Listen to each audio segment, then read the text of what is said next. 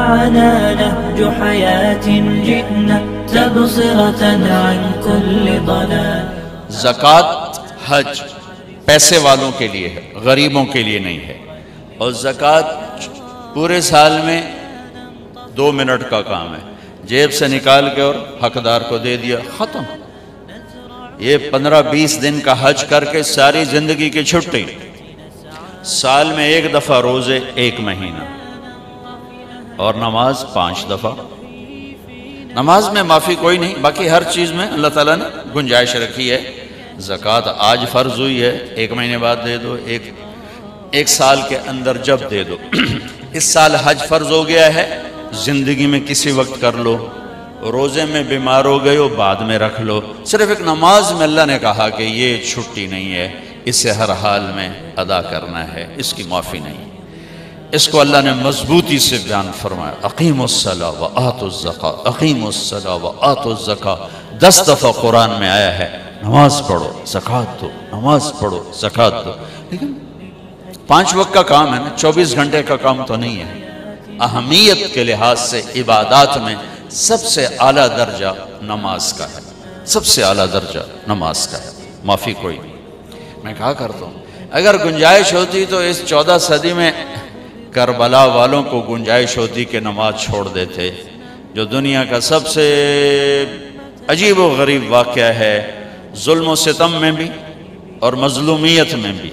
ایک طرف مظلوموں پر ظلم کی انتہا ہے اور ایک طرف ظالم کے ظلم کی انتہا ہے۔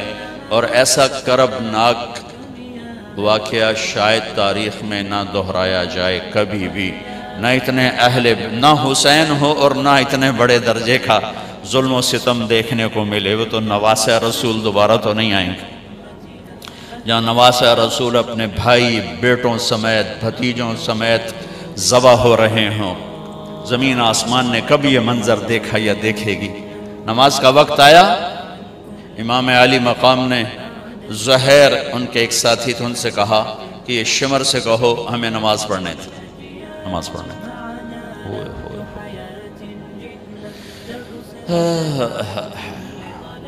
میں یوں کہتا ہوں، اگر یہ قافلہ نماز نہ بھی پڑھتا تو ان کی جنت کا فیصلہ ہو چکا تھا۔ یہ تو بالکل موت کے کنارے پر کھڑے تھے۔ اور لہو لوہان تھے سارے قافلے والے۔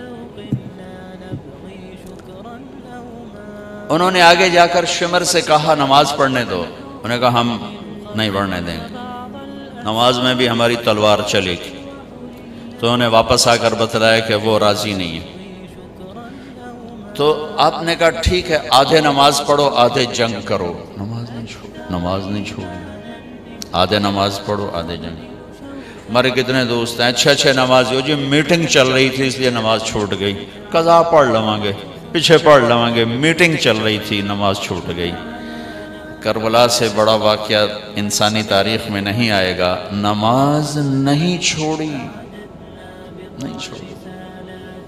آدھوں نے نماز پڑھی، آدھوں نے جنگ کی۔ پھر انہوں نے نماز پڑھی اور انہوں نے جنگ کی۔ اور اثر سے پہلے سب کے سر کٹ کے نیزوں پہ چڑھ چکے تھے۔ اور یہ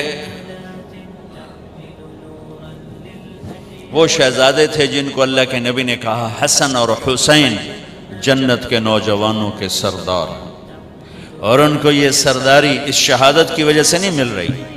ابھی ماں کی گود میں دودھ پیتے تھے۔ جب اللہ کے نبی نے کہہ دیا تھا، حسن اور حسین جنت کے نوجوانوں کے سردار ہیں۔ جن کے نام اللہ نے تجویز کیے۔ جب حسن پیدا ہوئے تو آپ نے حضرت علی سے پوچھا، کیا نام رکھا ہے؟ ان کا جی حرب حرب کہتے ہیں لڑاکا۔ آپ نے کہا نہیں، اس کا نام ہے حسن۔ پھر حسین پیدا ہوئے، آپ نے کہا کیا نام رکھا ہے؟ کہا جی حرب کا نہیں، اس کا نام ہے حسین۔ پھر آپ نے فرمایا کہ اللہ نے یہ دو نام میرے بچوں کے لیے رکھے ہوئے تھے، آج تک کسی کو یہ نام نہیں دیے گئے۔ پہلی دفعہ میری اولاد کو دیے جا رہے ہیں۔ حسن اور حسین جنت کے نوجوانوں کے سردار۔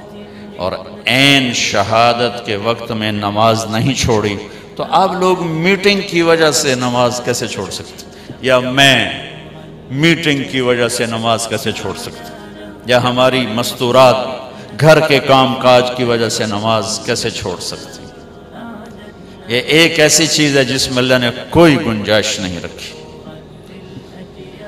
اور ایسی نماز چودہ صدی میں شاید ہی کسی نے پڑھی ہو جیسی اس قافلے نے پڑھ کے اللہ کو دکھا دی کہ زیر خنجر بھی یہ پیغام سنایا ہم۔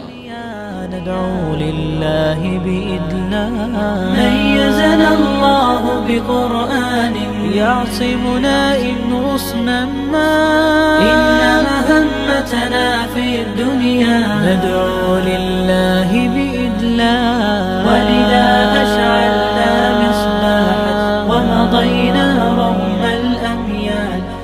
نبث الخير بأمتنا مهما الشر.